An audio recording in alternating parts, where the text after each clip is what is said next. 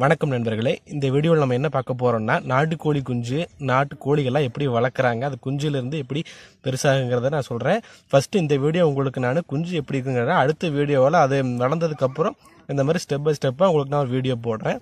இதில் இப்போ குஞ்சு எப்படி இருக்குது என்ன கண்டிஷனில் என்ன தீனி போடுறாங்கிறத பற்றி பார்க்கலாம். வாங்க வீடியோக்குள்ளே போகலாம். இந்த கோழி குஞ்சுகளுக்கு என்னென்ன மாதிரி தீவனம் போடுறாங்க? ப்ளஸ் அது பதில் கம்பெனி ஃபீடு கொடுக்குறாங்க இல்லையா? ஃபஸ்ட் நான் கம்பெனி ஃபீடு என்னென்ன உங்களுக்கு காட்டுறேன். வாங்க அந்த கம்பெனி ஃபீடை பார்க்கலாம்.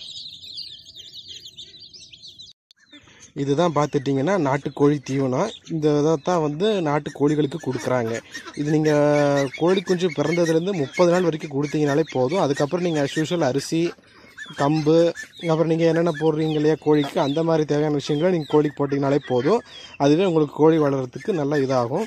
அதே மாதிரி மேக்ஸிமம் கரையான் போட்டிங்கன்னா இன்னும் கொஞ்சம் பெட்டராகவே வளரும். கரையானையும் போட நீங்கள் ட்ரை பண்ணுங்கள் இந்த கோழி தான் பார்த்துட்டிங்கன்னா பிறந்த மூணே நாள் ஆன குஞ்சு. இதை வந்து இந்த மாதிரி செட்டில் போட்டு வளர்க்குறாங்க.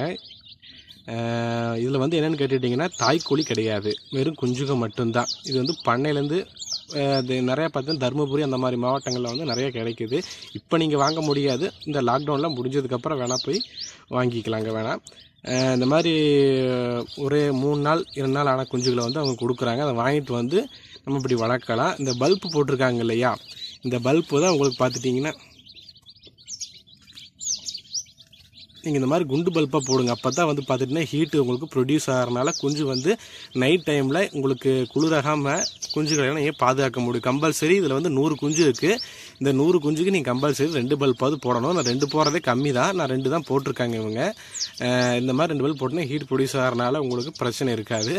வாங்க குஞ்சை கொஞ்சம் டேரெக்டாக கிட்ட போய் காட்டுறேன்.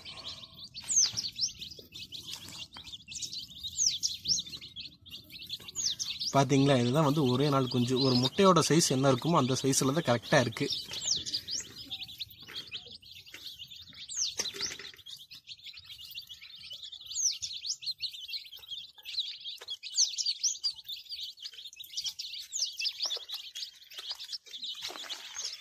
இது பார்த்தீங்கன்னா செட்டு வந்து ரொம்ப வந்து சிம்பிளான செலவில் போட்டிருக்காங்க.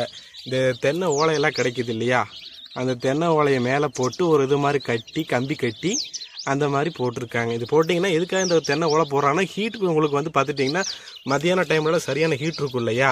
அப்போ வந்து குஞ்சு தாங்கிறதுக்காக இந்த மாதிரி ஹீட் போட்டால் ஹீட் அதிகமாக இறங்காது.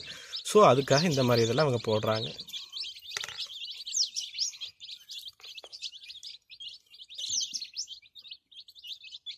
பாதி குஞ்செல்லாம் இப்போ படுத்துருச்சு.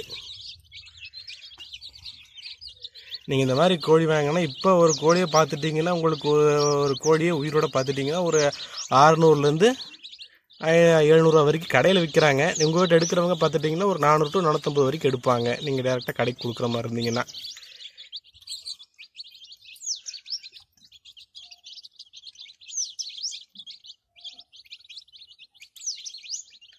குஞ்சு வாங்கி முதல்ல நீங்கள் வளர்க்குறீங்கன்னா முதல்ல வந்து ஃபஸ்ட் டைம் வளர்க்குறவங்களுக்கு ஒன்று ரெண்டு சாகிறதுக்கு நிறையவே வாய்ப்பு இருக்குது அதனால் நீங்கள் சாகுதேன்னு நினைக்க வேண்டாம். ஏன்னா ஃபஸ்ட் டைம் வளர்க்க தெரியாதவங்க வளர்த்தீங்கன்னா கொஞ்சம் அப்படித்தான் இருக்கும். நீங்கள் கொஞ்சம் பழகிட்டீங்கன்னா அதுக்கப்புறம் அதுவாகிடும் ஏன்னா கம்பெனி தீனி தண்ணி இதெல்லாம் சரி விகிதத்தில் கரெக்டாக கொடுக்கணும் அந்தந்த டைமில் ஹீட் நம்ம கரெக்டாக கொடுக்கணும். அதை சில பேர் மறந்துடுவாங்க கொடுக்காம விட்டுருவாங்க. தீனி கரெக்டாக போடாமல் விட்டுருவாங்க.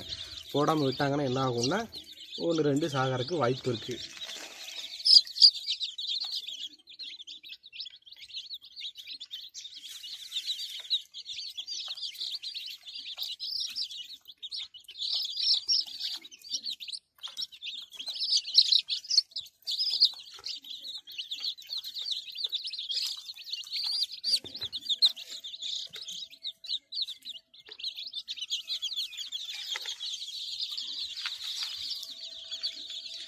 இது பார்த்துட்டிங்கன்னா கோழியெல்லாம் இப்படி வாங்கி சிம்பிளாக நீங்கள் செட்டு போட்டு வளர்க்கலாம். இப்போ கண்டிஷனுக்கு இந்த மாதிரி கோழி வளர்க்குறது ரொம்பவே நல்லது நம்ம நாட்டு நிலைமைக்கு.